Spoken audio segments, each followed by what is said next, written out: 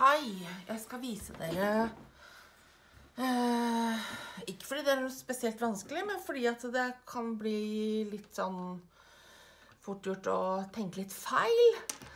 Eh, når du har eh, på døffelen Når du har eh, kommet opp til der hvor oppskriften sier at du skal nå strikke rillestrikk fordi du skal felle til kan, nei, strikke kant, så gjør du det. Da lar du bakmaskene bare henge, og så strikker du rillestrikk frem og tilbake med grått og feller av. Og så har du tatt begge nøstene og kuttet. Eh, så skal vi se Kommer du til et stykke hvor eh, du så skal Når du har gjort det, så skal du strikke den kanten som kommer her. Sant? Da legger du opp det maskeantallet som stemmer for din eh, størrelse. Og så strikker du rillestrikk frem og tilbake. Sant?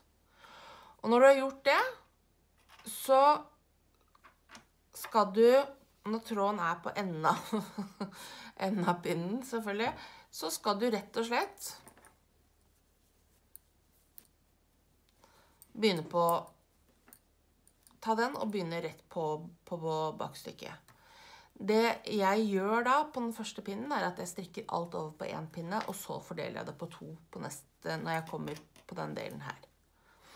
Så her må vi ha litt grått, mørkegrått, fordi den skal være mørkegrå på Litt styrete med en gang her. sånn. Der. Mørkegrå, lysegrå. Og så Den første masken er alltid grå. Bare få den igjennom, så det er ikke så farlig om man blir litt løs, for den strammer vi bare etterpå.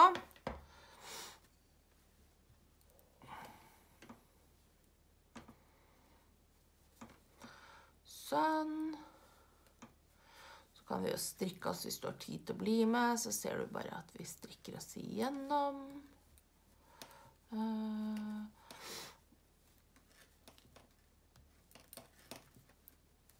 Og sånn, og så, når vi har kommet til enden av pinnen om ikke så veldig mange masker, så skal vi Skal vi se Ta litt tid.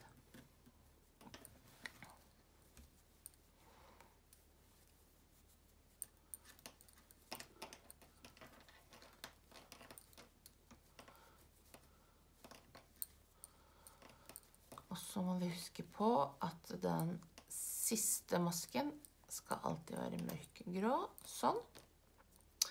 Der. Nå har vi alt over på én pinne. Det vi skal nå, er at nå skal vi strikke hele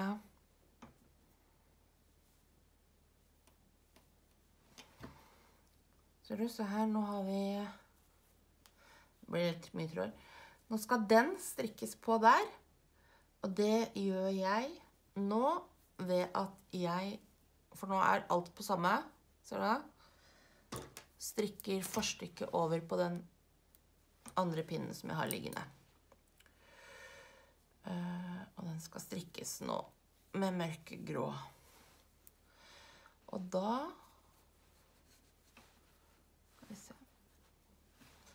Jeg må bare om jeg har den over i loop sånn.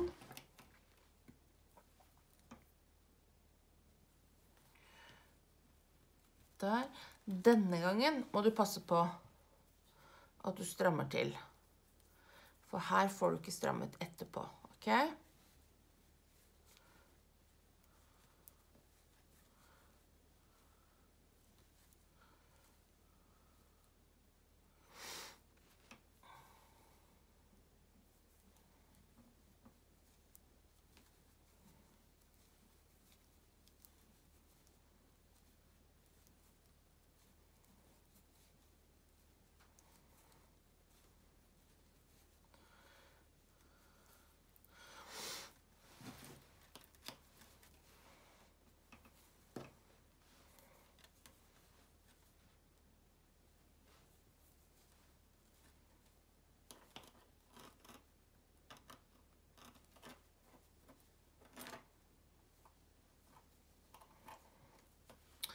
Litt sånn knotete denne første omgangen, men det blir eh, så fort du er ferdig med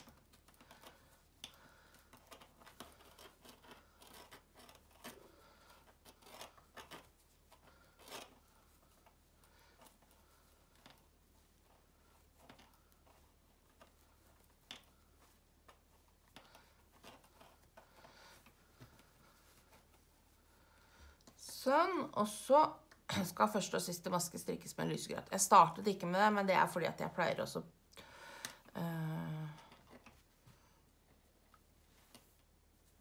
Bare brodere på den første masken. Se her nå. Sånn. Og så blir den tråden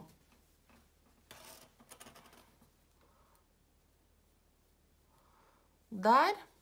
Da har vi forstykket på én pinne og bakstykket Du det? På en annen pinne. Så nå kan jeg fortsette, og da tar jeg den tråden av pinnen som hører til Det er den. Sånn. Og så strikker jeg videre. Håper det var Så må den være grå, og så kan vi dra til der og der. Sånn. Håper det var til hjelp. Kanskje hvis du lurte på hvordan du skulle få til den åpningen, så er det sånn vi gjør det. Ok. Lykke til.